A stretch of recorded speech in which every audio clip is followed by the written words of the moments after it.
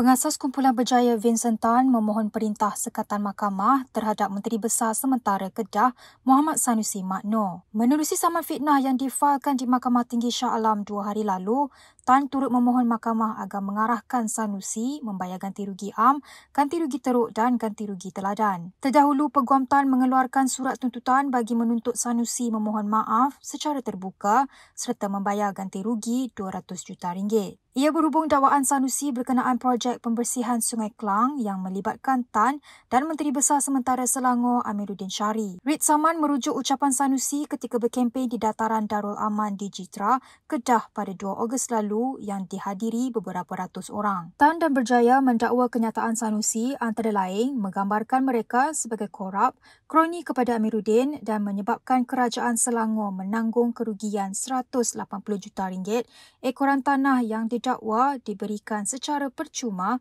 dan menipu rakyat Selangor. Menurut penyataan tuntutan, Tan dan Berjaya Land Berhad yang merupakan plaintif pertama dan kedua menyangkal dakwaan itu dan berkata Sanusi menerusi surat balas bertarikh 8 Ogos enggan mematuhi tuntutan yang dibuat. Plaintif mendakwa dakwaan itu bukan sahaja tidak berasas dan tidak benar tetapi dibuat dengan niat jahat demi kepentingan politik dan retorik mengapi-ngapikan oleh defendant. Selain pelbagai bentuk ganti rugi, Tanda Berjaya juga memohon injunksi agar Sanusi dilarang mengulang tuduhan yang didakwa sebagai fitnah tersebut. Malaysia kini sedang berusaha mendapatkan maklum balas Peguam Sanusi berhubung perkembangan ini.